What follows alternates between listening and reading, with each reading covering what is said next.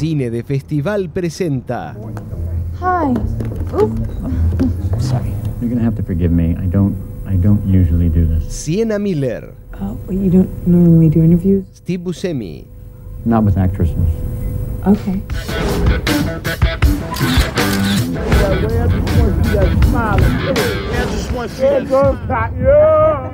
You just drive, please. Interview, wasn't necessary. Shut up. dirigida por Steve Buscemi. Why do you choose only the most commercial crap that's out there? Kiss me. Are you gay? Yeah. Yeah.